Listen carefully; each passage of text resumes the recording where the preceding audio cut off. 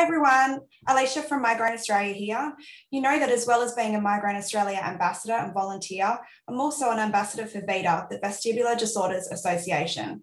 I live with vestibular migraine and it can be really tough to manage. Dr. Ron Granot is a neurologist in Sydney who's done some research into vestibular migraine treatments and joins us today to chat about the options. Thanks for joining us, Dr. Granot. Pleasure. So as you know, vestibular migraine in the community is not well known and not well diagnosed. So today we're going to talk about some key questions that a lot of the migraine community have. So just want to kick off with what's, what are some of the key differences between VM and migraine with dizziness and vertigo attacks? The key thing I think to understand with, with vestibular migraine and migraine in general is um, whether, whether there's an external uh, stimulus or, or an internal problem. And, and in migraine in general, it's an issue of perception. So um, as, as you know, and, and I'm sure a lot of the people watching know, migraine is associated with a lot of sensitivity to external stimuli. So lights are perceived as brighter and, and painful and unpleasant, and sounds perceived as louder and more painful and unpleasant as well.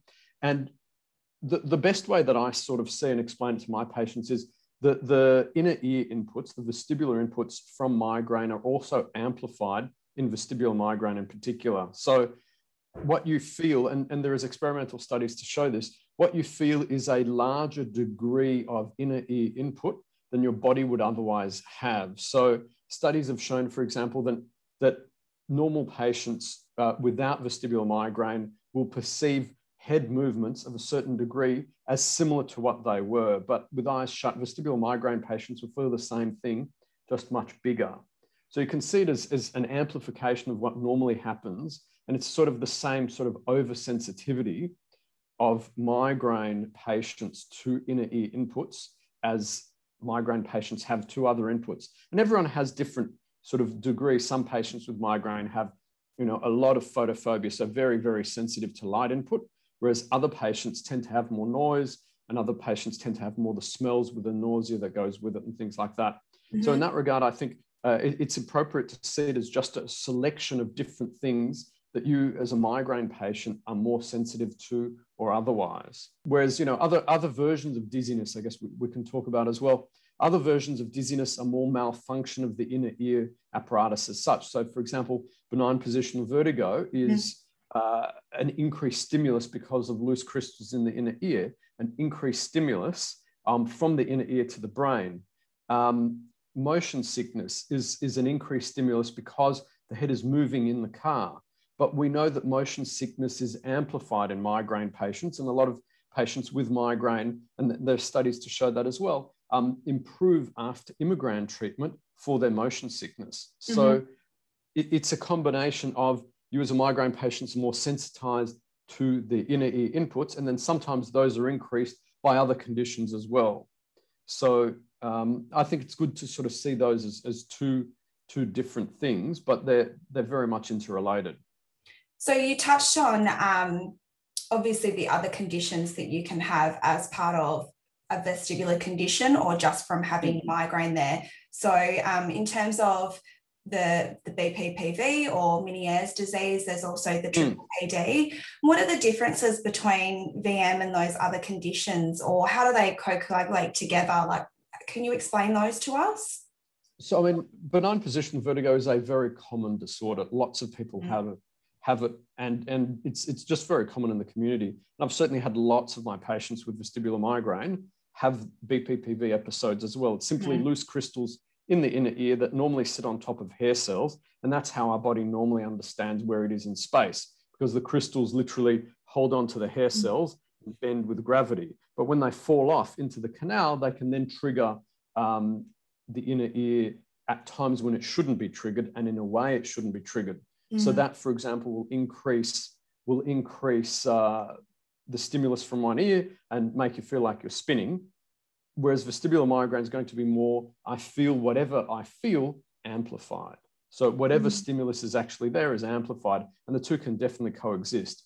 Meniere's disease is another disease where the inner ear malfunctions. We're not quite sure how that works, but we know that it's probably an increased pressure in the inner ear causing stimulation of those hair cells again. And again, it gives you an abnormal input an abnormal sensation of, of movement from that inner ear.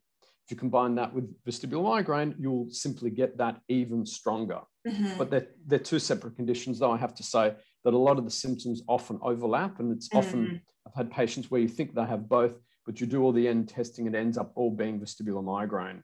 It's interesting, um, isn't it? Because I know a lot of people that already have vestibular migraine, they also have the diagnosis of triple PD as well. And a lot of the symptoms are very, very much the same. And you're right, they do cross over. How would you go um, about getting a diagnosis if you thought that you had VM or you thought you had triple PD or any one of those vestibular conditions? So I think that the, the, the answer is it can be trickier than what it looks like. Um, the, the studies show that even tests of inner ear function, where we squirt water into the inner mm-hmm. ear and see exactly how the, the brain responds to those in terms of inner ear function, can be abnormal in a small percentage, in, in not an insignificant percentage of vestibular mm-hmm. migraine patients. So I think it's tricky. Um, but you should at least have a very good history to make sure that, that the sim- where, where, the symptoms sort of lead you as well, in terms of ear symptoms and other migraine symptoms as well. Uh, imaging the inner ear uh, on MRI to make sure there's nothing mm-hmm. else going on is important as well. And then inner ear function studies are also useful. That's where I mentioned the squirting water in the ear, which are calorics, and there are a whole bunch of other electrical tests of inner ear function. And more controversially, there can also be electrocochleography, which is getting the electrical uh, impedance. So essentially the electrical characteristics of the inner ear that can help clarify whether it's a stronger version, it's a more clear version of Meniere's disease, or if it's just by exclusion with the other symptoms, vestibular migraine. So, would they come to a neurologist? So, someone with those symptoms, would they come to a neurologist first or would they go to an ENT first? Because I think there's a bit of confusion between the both. Can you talk us through that? I don't think I don't think there's a the perfect answer. Mm-hmm. Certainly, neurologists who are comfortable with vestibular disorders should be able to organize all those tests and go through it. Um, and, and rule out most of the things that, that would need to be done. And certainly neurologists would be the right ones to then follow it up with more medical treatment of a, a migraine disorder as well. Mm-hmm. But I think, you know, having things too strictly defined, it's got to be this or it's got to be that, uh, may mean that that people miss out on, on something that, that is important to exclude. So often you, you see both, um, mm-hmm. and and a, a, good ENT will say it's not a structural inner ear problem. Continue with the neurologist side of it. So I don't think there's a right way and a wrong way to go about it. Um, you just need to have all those things done and, and gone through properly. And even just even just excluding a structural inner ear problem, with, which an ENT can do, can be very reassuring. And that mm-hmm. too can be a useful thing to do. So I don't think you can say, oh, well, this is the right doctor, that's the wrong doctor. We all, in, in, in the end, play a, a useful role together. And even reassurance and a negative can be a very positive thing. So, the specific neurologists that we would need to see if we thought we had any of those vestibular conditions, or are we able to just see any neurologist? it's interesting. I think Rafaela was asking similar sort of questions before. What's a, what's the difference with a migraine specialist neurologist? I think the answer is is what what the neurologist is comfortable with and what the neurologist often deals with. So. I deal with a lot of these patients, so I'm comfortable with it, and I have no issue sort of mm-hmm. going through it because I've done it hundreds and thousands of times. Um, it, it, depends, I think, is the answer. And some neurologists okay. are more specialized in other things, but they may see enough of these patients to, to make it uh, to, to be able to treat them appropriately anyway. So I wouldn't be able to say, oh, it's got to be this way or that way. It's what people are sure. interested in. Sure.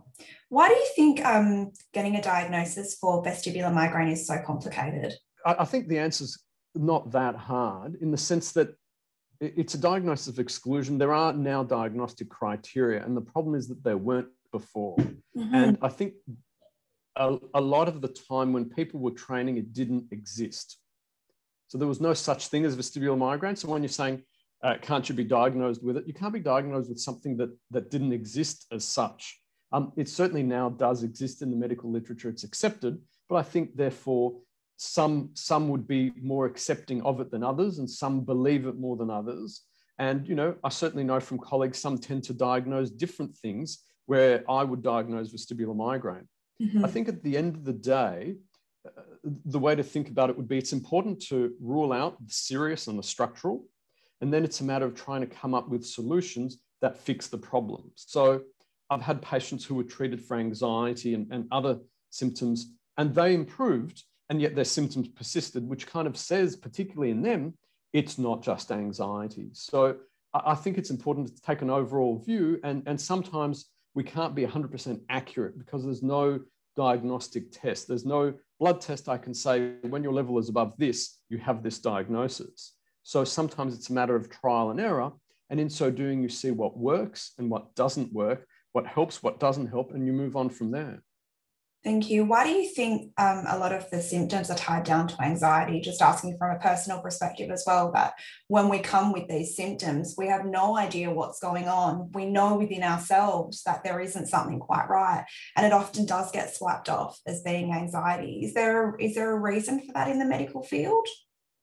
I I think I don't think that the data's in there enough for me to say that is fully evidence backed. From my perspective it's an awful thing to have. You mm. feel terrible. Mm-hmm. You're you're suffering uh, and often unable to do things. In other words, you're disabled, and that's mm-hmm. very anxiety provoking. We know in chronic migraine, for example, which has a lot more literature to it, that depression and anxiety are much more common. And the more patients have that, the worse um, their symptoms are as well. So it's a self-fulfilling. It's not that it's a self-fulfilling prophecy, but it's it's a it's a self-driving sort of feedback loop. Mm. And when you're feeling terrible, you feel anxious about when's the next exacerbation coming. You're then worried about that.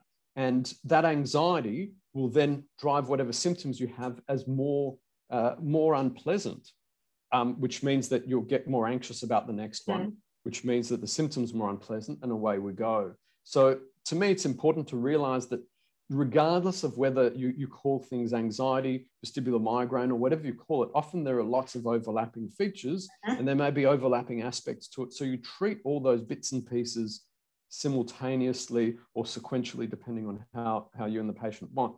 Um, and uh, at that point, you then uh, see what improves and, and move on from there. What are the so, so I certainly think anxiety is a, a huge component of it that shouldn't be ignored. But equally, I wouldn't say, oh, that's that is the one thing it is and nothing else. Okay, so you're saying that there's definitely an interlink, which I truly believe there is, because having a vestibular condition myself, yes, it does make you very anxious in the beginning, hmm. but it's not the reason why we, you know, have this anxiety or why we don't.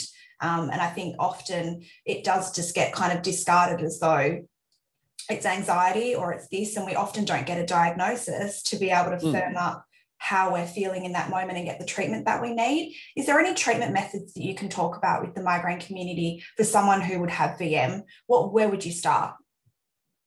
I think I think as I said, there there are the answer is yes. There's a lot a lot of different treatments that you can do, and you have to tailor it to the to the individual as well. So um, to split it up broadly, there are lifestyle measures. So so I'll, I'll take a step back actually. I don't think the treatment for vestibular migraine is particularly different from mm-hmm. migraine in general. Um, and so uh, all, all, the trials, and there are a few, show that all the drugs that work for migraine work for vestibular migraine. So I don't think it's a it's a different entity. As I said in the beginning, I think it's part of a spectrum of the bits that you're most sensitive to, but it's still part of the same disease. So all the same medications are there and should work. Um, why I say should is because we've got less data to, to say, yep, it definitely does. Mm. And then I think it's important to split it up, as I said, into, into a, a different categories, including lifestyle and psychological uh, treatments, and then uh, medical treatments. And then on the side, I'll put vestibular, vestibular therapy and, and physiotherapy type things as well. Um, to address that briefly, I think it's important to rule out you don't have BPPV. And if you do, to treat it. And mm-hmm. that I think at least can be done fairly uh, easily and effectively with the particle repositioning maneuvers. And sometimes it's unclear and you just have to do it again and check. Um, apart from that, um, the evidence for sort of motion habituation and, those sorts of exercises mm-hmm. is variable. Some studies say it seems to work, others don't. And in a survey I did um, trying to think now, probably about four years ago, a hmm. lot of patients had tried it, but a, a, a large proportion of those found no benefit And I think the answer is that probably the ones who found benefit from it would have had something like benign positional vertigo, and those who didn't probably just had straight migraine. Um, when you are excessively sensitive to motion mm-hmm. and you then do a lot of movement, you're actually going to trigger things more rather than right. less. So I wouldn't be surprised that some people got worse yes. because you're just driving a system that's already really upregulated, so really sensitive and tuned up. So I think it's important to, to try to, to get that back under control before you can then get used to, to movement being perceived normally again. Mm. And then in terms of in terms of lifestyle treatments, there are a lot of different things we can do. Psychological therapy and and, and other exercises to manage, stress and anxiety, as we mentioned, mm-hmm. are, are, really important. And then there's a lot of other triggers um, uh, that drive stress, be that you know workload and, and work-life balance and all those things, which I think are critical to sort of think about and address. And then a whole bunch of other things from alcohol consumption and caffeine consumption mm-hmm. and sleep deprivation, which kind of ties in with, with uh, all the, the stress things and insomnia, um, which you sort of got to address all those pieces together as well, because um, if you can find the underlying cause in that regard, it may not be the explanation for why you have migraine. That's probably genetic and environmental together. But if that's the major thing that's driving your migraine, why not address it? So I've, I've, i had patients, you know, working under extremely stressful conditions who we sort of said, look, or, or, or, or with grief or all sorts of other, you know, family stressors and all of those. And we said, this is obviously the reason why a migraine got worse. And we will treat the migraine. But if we address the underlying factors, it will improve regardless of whether we use medication and so on. So I think that's that's really critical to kind of figure out what's underneath and, and you know potentially continuing to drive it. Having said that, I've got lots of patients who uh, are well controlled, get a bit worse, but are still manageable on good therapy despite marked increase in stress. So the medications and other treatments can definitely buffer the, mm. the, the stress leading to definitely increased symptoms. So I think it's still it's still worthwhile to treat and, and see if you can manage that. It's definitely all At the end of that, oh, absolutely, and you just got to address all those aspects because if you if you deal with one and not the other, if it's so, so you know, if you deal with medication for anxiety and say that's that, mm-hmm. you've missed out on two thirds at least of what's going on, and you know, you may well have some improvement, but you won't have the, the complete package of improvement that you otherwise could. And after that, there are lots and lots of drugs. And the various, all, all these medications have their, their, pros and cons, typical side effects and response rates. The, the, the literature basically, so that all the medical studies don't show a huge difference in an overall population between each one. So often it's a matter of selecting the right drug for the right patient, more in terms of what side effects are actually benefits for that patient and what side effects are more more prominent and, and would be a bigger concern for each patient. And at the end of the day, it's often a matter of try one, if not try the other, try the other. And the things that I tell my patients who I see as second, third, and fourth opinions is often the doses that were tried weren't enough or the, mm. the duration of time that the medications were tried for were uh, in, inadequate. And, you know, they need to have been on full, you know, therapeutic dose for at least six to eight weeks. Mm-hmm. Sometimes that may be longer depending on how, how uh, frequent their symptoms are. Mm. Um, but we do know that in, in all the major drug trials with lots of patients in them, that a medication that shows a benefit will accumulate further benefit for at least a total of six months of therapy and sometimes longer. So longer duration therapy is, is, is necessary, um, but you, you need to give it at least a decent trial to start with to pick up, is this a medication that is beneficial for you? or is it something that we have to uh, pull out of and, and move on to something else? And would you say, in terms of medication for those people who have um, a vestibular condition, to go slow um, before you know they make it to that maximum dosage? Are you supportive of that? I know there's lots of um, vestibular patients who are anxious about taking medication because they often feel like they may be fighting with those symptoms that you were talking about in terms of taking medication. Um, I think from where I sit in my perspective is the slower you go and you kind of just increase your dosage as you feel comfortable. Are you are you supportive of that or how, how does that um, react in terms of having a vestibular condition? I think the answer is that's the same with with every condition. in medicine, full stop. Mm-hmm. The, the faster you go, the more side effects you get.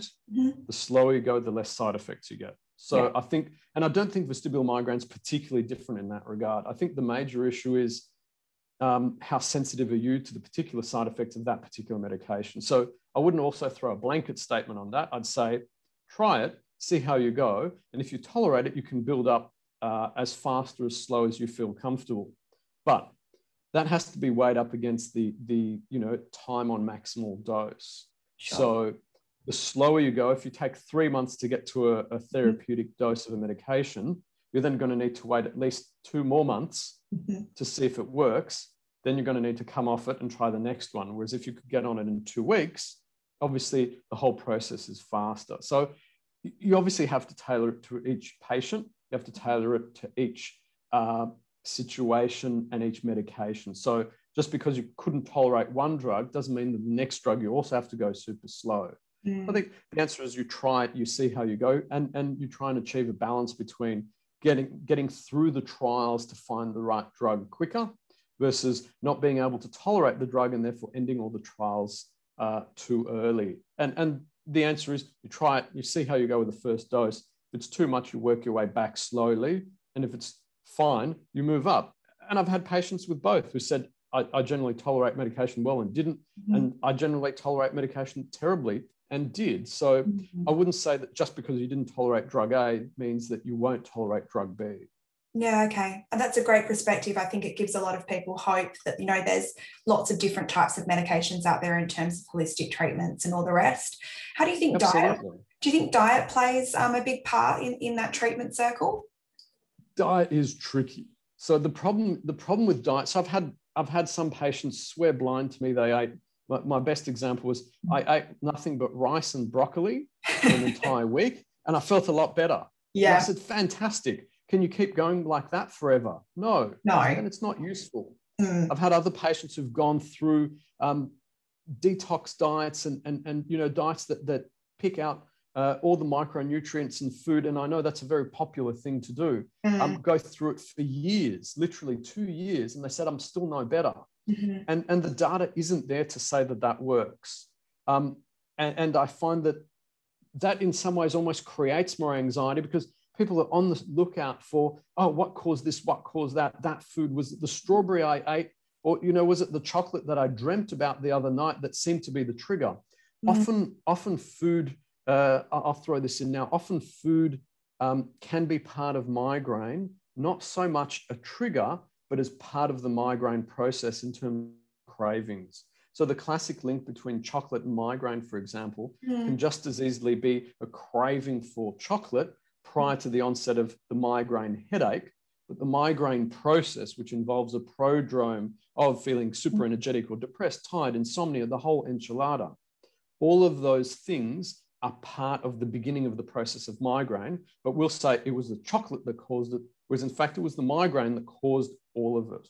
Mm. So, you know, overvigilance and hyper anxiety about what you put through, uh, what you put in your mouth can sometimes be detrimental because it just adds to the stress and the workload of trying to manage the migraine. Mm. The, the only trials that show any vague sort of usefulness of diet over over uh, any specific diet are one high quality diet um, works well Mm-hmm. So the better quality your diet, the less likely you are to have worse migraines. Mm-hmm. And then uh, other studies which were unfortunately of poor quality, um, and I'll explain that in a second, where they suggest vegetarian type diets are mm-hmm. better again, um, which kind of overlap with the high quality diet. The problem with doing diet studies in migraine in particular and in many conditions in general is uh, the way we do it is you, you, you use comparator groups. In, in other words, try and give one group a diet and the other group no change in their diet. The problem is when you enroll people into a study, the people on the placebo diet, in other words, no change, say, oh, maybe I should adopt some of those habits of the, the intervention group anyway. The intervention group go, ah, this is hard work, I can't be bothered. And so in the end, the two tend to overlap a bit too much. So it's mm. very hard to draw conclusions because both groups will get better. Is that because they're in a trial? Is that because they changed their diet? it's it's very hard to see, mm. um, and, and and that's why I think the data is not there, and the data is going to be very hard to get. Do you think there are specific triggers for some people in the migraine community in terms of, you know, citrus, MSG, eating nuts and those types of things? Or do you think that they are just that migraine prodrome? I, think it's very hard to, to tell the difference. And occasionally, so I know alcohol is a very clear trigger in a lot of my mm-hmm. patients. We stop them drinking, the migraine frequency reduces. So that's why I'd certainly say that, that moderating at least mm-hmm. alcohol is, is really important. Apart from that, it's very difficult to tease the two apart. Mm. Um, but the answer is then if, if you are 100% convinced that that's a trigger, try and eliminate that and see what happens. And often you'll find that, that they still keep coming. And, and what you have to do is do that all with a headache diary because mm. if you monitor it with, um, if you monitor it, oh, I feel better, I think it's working, um, it, it, doesn't help. So a headache diary is really important to, to decide if any intervention is working, be it dietary change, stress management, mm. and of course medication. And I get all my patients to, to keep track uh, with a headache diary before and after each change and see is there an obvious change with it great we continue we up the dose we, we redouble our efforts no change turf it don't don't keep going because it's mm. a waste of your time yeah and i think a migraine diary is so important just to keep your own records you know how migraine is very unpredictable and likes to change it up all the time absolutely Finally, um, can you tell us a little bit about the research that you conducted? You touched on that briefly, um, but I believe you did some research um, and a treatment survey that you conducted in 2018. Can you talk us through um, that, that research study that you're doing, if there's any future research that you're going to be doing? Yeah, so so what I'll do, hopefully by the time the video comes out, is I'll, I'll give you a link to, to a, an updated survey that I'd love as many patients as possible mm. to go through. And what we're trying to do with that is see are there any correlations, any predictive factors to say uh, that this particular treatment will help you, particularly compared to everyone else. Because as I said before, what we know is these medications work about the same, um, but which patient benefits from which medications a really, really hard thing to figure out. And at the moment, what we do is trial and error. So um, mm-hmm. what I'd like to do is, is uh, get more and more data to see from all patients, I tried this, I tried that. These were my characteristics. These are, the sorts of things I like and dislike. Uh, these are my other medical backgrounds, and mm-hmm. see if we can tease out a model um, to, to predict which patient will respond to which treatment. So I'll, I'll uh, have that organized. And, and what we have, uh, what, what uh, I have in the past, as I mentioned, uh, around 2018, is run that, that survey once um, and we had about 300 respondents. And the data showed that there were, uh, you know, there lots of patients tried lots of different things, mm-hmm. but unfortunately, their, their response rates were all about 50 50. Mm-hmm. Um, and it wasn't clear um, which, which particular medications were more effective. We could certainly see that a lot more people, for example, tried beta blockers and things like mm-hmm. that. Um, but, but it wasn't clear that any one of those was, was more effective. And so I think what, what we need in that regard is more, more data. And mm. the more mm. patients we have from further afield as well, rather than just my practice alone, for example, but mm. you know, all around Australia, around the world, will give us will even out, you know, each doctor will have a preference to try one medication over another. So if we even all that out and get as many different treatments as possible with enough people, we'll then hopefully be able to see, well, the response rate of this medication was better than that medication and I do I do have that data on my website, and I and I did uh, sort of publish that on my website uh, after the survey was done. So I'll give you the, the the links to that as well. Yeah, please do. I think there's um, a lot of people within our Migraine Australia members group, particularly, and our um, Migraine Australia cohort that would love to be involved in that research study. Thank you for talking with us today. I really appreciate that. It's a pleasure. The more I think to, to, me, I think it's really important because the more, more people understand what's going on, uh, migraine is grossly, as you know, mm. migraine is grossly underdiagnosed and undertreated. And I think the more information is out there for people who suffer from it and mm. also people who they know that the better it is. Half, half the problem, I think, is patients come in sort of going, This is my lot in life. I think that's terrible. We mm. can definitely do more. There's a lot of available treatment options that unfortunately, you know, sometimes patients when they first encounter the medical system don't get anywhere and kind of go, well, I'm stuck. And to me, that's such a waste. There's so much more we can do. And so the, the, the more we can get that message out, the better. I think it's definitely about finding where you can go for help, who you can ask for help, um, and whether or not you're being managed by your GP correctly, I think is um, definitely a place to start because there's lots of us out there who think that we are being managed correctly when we're not. And we essentially lose hope when there's people out there that we can see just like yourself. Absolutely. Look, I, I, certainly think don't lose hope. There's there's a lot we can do, and it is getting better and better as as uh, mm. you know with with more and more new treatments being available, and there'll be more to come. So so definitely don't lose hope, and just work through all those things that we discussed earlier on. Um, we'll get a long way to, to getting people better. Thank you so much for chatting to us today. Absolute pleasure.